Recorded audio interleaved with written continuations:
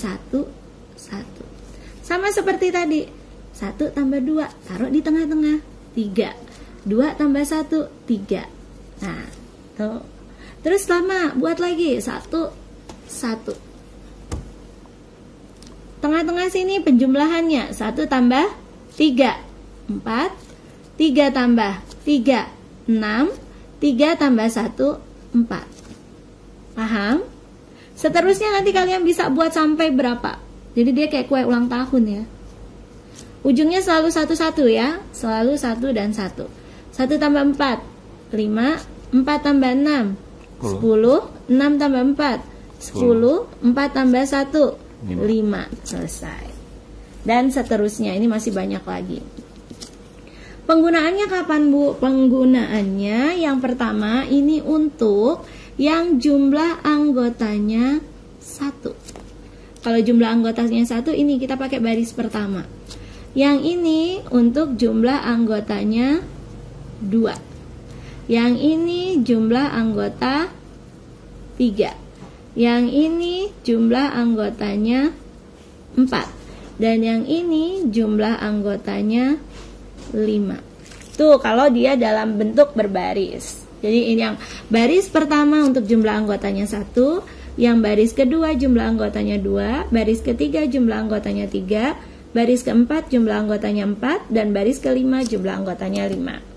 Sekarang kalau kita buat dia apa ini namanya pak? Diagonal ya? Apa nih?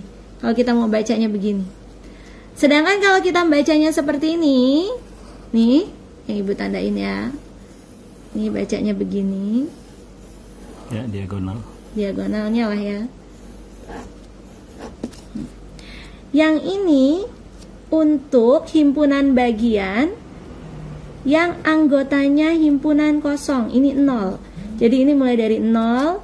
Ini anggotanya satu, ini anggotanya dua, tiga, empat, lima, dan seterusnya. Ini nih maksudnya ini. Yang anggotanya satu ada berapa nih? Satu, dua, tiga, empat, lima. Gimana Bu bacanya? Ibu ulangi ya. Ini anggotanya ada 5, berarti kita pakai baris yang ke 5 ini. Baris ini yang kita pakai.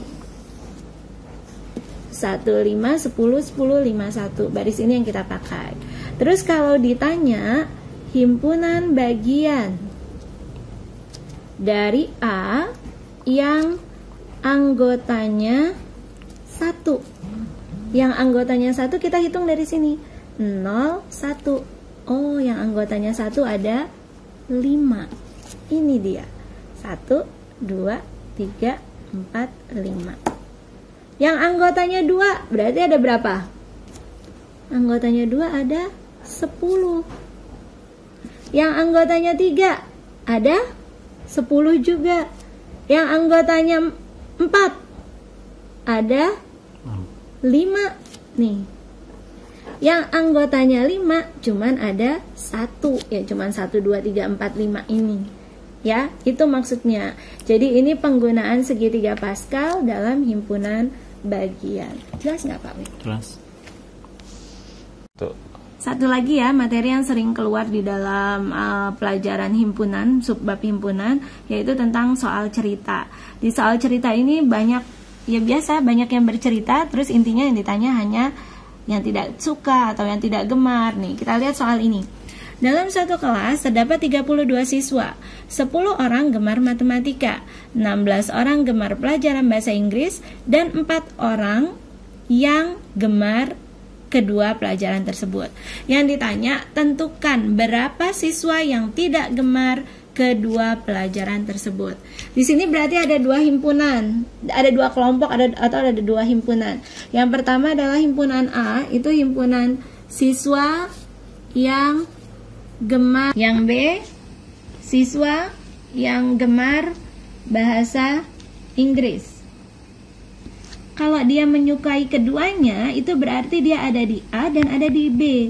Pengertian sebelumnya adalah tentang irisan. Jadi A irisan B-nya itu ada yang gemar keduanya. Kalau kalian mau gambar dalam diagram pen, ya, ini A, Ini B. Yang di tengah-tengah ini udah bisa kita langsung isi. Berapa isinya? Empat. 4. 4. Yang A, yang gemar matematika, itu ada berapa orang? Ada 10. Sudah ada 4. Tinggal enam. Berarti tinggal 6 di sini. 6 ini dari 10 dikurang 4. Oke. Yang B, yang gemar bahasa Inggris berapa? 16 orang. Sudah ada 4. Berarti sisanya 12. 12 dari 16 dikurang 4. Itu ya, ini isinya. Setelah itu yang ditanya itu yang tidak gemar keduanya, berarti dia nggak ada di dalam lingkaran ini, dia ada di luar. Kita 22. jumlahkan dulu. 6 tambah 4 tambah 12 itu ada 22 ya. Mhm, Berarti siswanya 32 dikurang 22 ada 10 orang yang tidak gemar kedua-duanya. Itu ya, itu untuk materi soal cerita. Sebenarnya ada langkah yang lebih praktis, ini sering Ibu kasih juga. Ini rumusnya. Kalau ketemu soal seperti ini pakai aja langsung ini tanpa harus menggambar. S itu adalah semesta. I itu adalah irisan. L-nya adalah lain-lain. Lain-lain itu yang tidak masuk di semesta dan tidak masuk di irisan namanya lain-lain.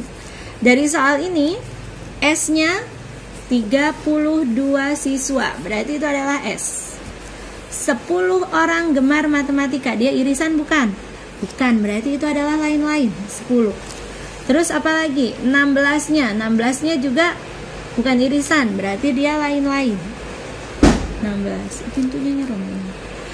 Dan ada empat orang yang gemar keduanya. Nah, kalau keduanya itu berarti irisan. I-nya adalah 4. Masuk langsung ke rumus ini.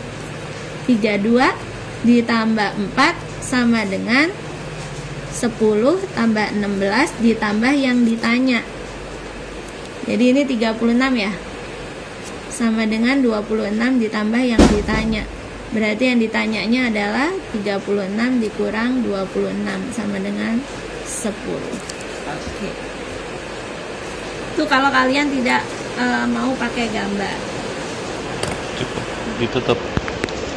Oke, cukup sampai sini dulu penjelasan yang Ibu ulang kembali setelah kalian mencoba soal-soal dan ternyata masih belum coba kalian pahami kembali materi yang Ibu sampaikan kali ini. Mudah-mudahan uh, sedikit membantu kalian untuk uh, memperbaiki nilai nanti ketika mid semester.